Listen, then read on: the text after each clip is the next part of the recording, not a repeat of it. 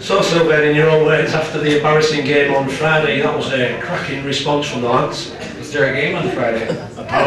Uh, no. Yeah, I think Bobby is the only guy that got off the bus Friday, so no, it was embarrassing, and I apologize to you guys for that display. Um, Hey, no worries. Obviously, um, you know, we responded tonight. Yeah, but these these types of games, the way that Hull play, we're play an attacking sort of game, and we are going to get blown out by teams like Cardiff once in a while. Um, what, what, sort, what sort of things went wrong from the well, from the very first start, first 15 seconds?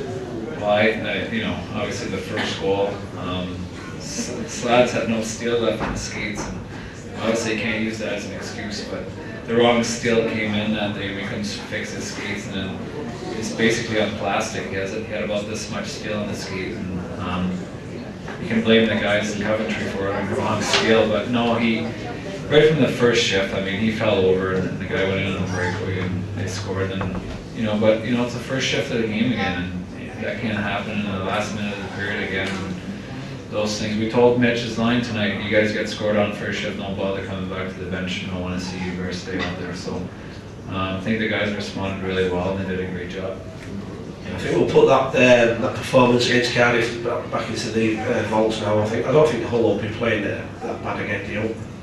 Well, they better not. I mean, there's there's no reason. I mean, last weekend we played so well. Big win in Newcastle on the road where it's tough to win in that building, and then we come home and beat the league leaders, and then you go and put that display on. I mean, if that's how it's going to be, obviously we'll make changes. We're not going to accept that, and, and guys will be gone. And if you don't want to compete for 60 minutes, you're not going to be here. How did you pick the lads up then after that, the, the game? I mean, they come out with a lot of fire in the bellies in this first period. Especially they came out in the first period with a lot of fire in the bellies. What sort of thing was he, was he telling the players? Well, basically, we have that 60 minute sign in our dressing room when you walk onto the ice, and that's what we need to do. Is when you play skilled teams, you need to outwork them and, and compete with them because they have a lot of skill. They have three lines that can put up numbers. So, uh, like we did tonight against Nottingham, we competed for 60 minutes, and that's what you need to do. And you know, we had a meeting after the game in Cardiff. Um, obviously, it wasn't pretty. We had another one Saturday morning, and made sure everyone came to the rink early. No one was sleeping in. Uh, I didn't sleep all night. I watched the video and um, went straight to the rink. I wasn't happy, and we brought them down, and we had another meeting. And uh, I think it hopefully got through their heads. It certainly did. Um, tonight's game against the Panthers, it really did start to frustrate the Panthers. You could see the Panthers players getting more and more niggly during, during the game. Could you sense that? Yeah, I mean, you know, they're they're a skilled bunch. So if you get in the way of them, and you know, you, you chip the puck behind their defenseman and finish their check, uh, they don't like to get hit. I mean, Corey Neilson doesn't like to get hit. I mean, you got to get on them and get on those guys, the Myers and Galbraith and all those guys. I mean, what a great job Manny Davis did there, a great uppercut, and he got him. And uh, that's what you want to see. You want to see guys with fire, and to see uh, Manny Davis that goes out there and he battles and he drops the gloves. I mean, that's that's big for a team. That shows he cares. The size of Matty Davis, it had to be nothing else but an uppercut. Yeah, he is short, but you know what? He's got a lot of heart, and you know he went out there, and I think the guy probably tried to take advantage of him because was smaller, but I think he, he picked on the wrong little guy. It seemed to give the, the team a little more, more fire in the belly coming into the third period, that one, and looked as if it might boil over. Did you tell the lads to calm down, or, or did you tell the lads just keep keep pushing them? No, we keep pushing. We wanted to win the game. Um, we know if we were to beat them, maybe we had a chance to knock them out of the Challenge Cup because Cardiff and Sheffield were still in it. So uh, it would have been nice to, to beat them, but you know we got a point out of it. The guys battled. Now we got to do the same thing next Saturday. Yeah, in the press it was um, sexy Neilson hockey. Uh, we didn't see any sexy Neilson hockey tonight, did we? no, it wasn't. No, it was. Uh, no, the guys did a great job tonight. Um, what do you think to Drew Bannister's performance tonight?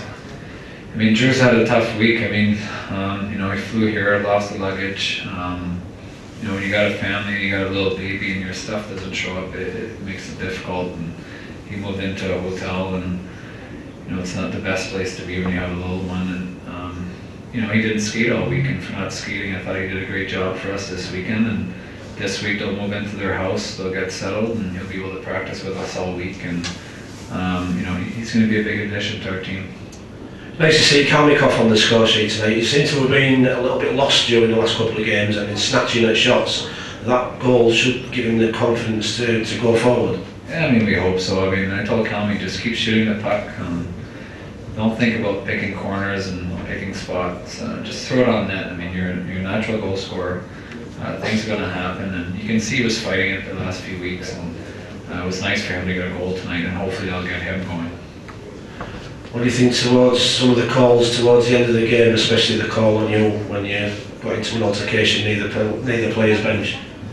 Well, I mean, I know it's a tough job being a referee, but I mean, he, he missed so much stuff tonight. It's frustrating because, um, you know, you're skating off the ice going for line change, and a guy gives you an elbow to the head.